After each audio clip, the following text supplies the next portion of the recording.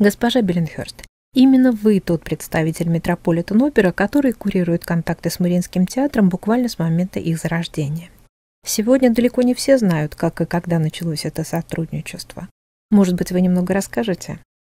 I was working with the San Francisco Opera, and um, we were opening the season with War and Peace, a new production, and um, someone recommended a quote very young, talented uh, Russian conductor named Valery Gergiev to conduct War and Peace. So uh, we engaged him, and I went to Hamburg in 1989, where I met him first, where they did a uh, performance, a concert performance of War and Peace with Olga Borodina and Galina Gorchakova and all sorts of people like that.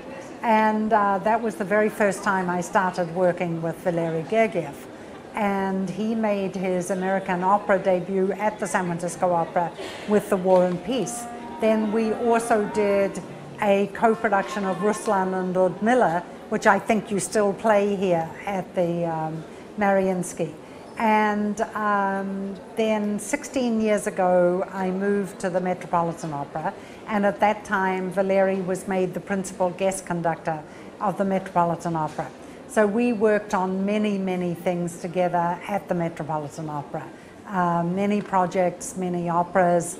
Um, really, this year, a new Boris Godunov that we're doing with Rene Pape and an all Russian cast, all from the Mariinsky and last year very very successful new production of uh, the nose and um, then we I've also been very involved in helping present the Mariinsky Ballet or the Kirov Ballet as it was then known many times at the Metropolitan Opera with the Lincoln Center Festival and the Metropolitan Opera. Um, so we go back a very long way, 20 years. In fact, it's 20 years since I first came to the Mariinsky and came to St. Petersburg. And I've been back 19 or 20 times since then. Когда вы впервые приглашали в Сан-Франциско молодого дирижера Валерия Гергиева, был в этом для вас как менеджера какой-то элемент риска? Absolutely not, because the moment you heard him, you knew that he was absolutely brilliant and a genius conductor, and it was a great coup for us to have him. And uh, at the Metropolitan Opera, he's conducted many, many things. I mean, many different things from Otello to Don Carlo to all the Russian repertoire. Wonderful Onegin with Dmitry Hvorostovsky and Rene Fleming, which is on a DVD. Um, Don Carlo, he conducted. Valkyrie, he conducted. Salome, uh, which is also on DVD with Karita Mattila Many, many things at the Metropolitan Opera. Фестиваль «Звезды белых ночей» завершен. Сезон закрывается. Почему же вы оказались в Петербурге именно сейчас?